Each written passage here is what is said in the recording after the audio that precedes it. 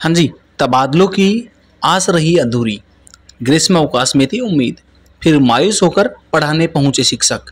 एक परेशानी यह भी है कि मुख्यमंत्री द्वारा चुनावी रणनीति के तहत प्रदेश के 19 नए ज़िले बनाए गए हैं, जिनकी घोषणा की जा चुकी है।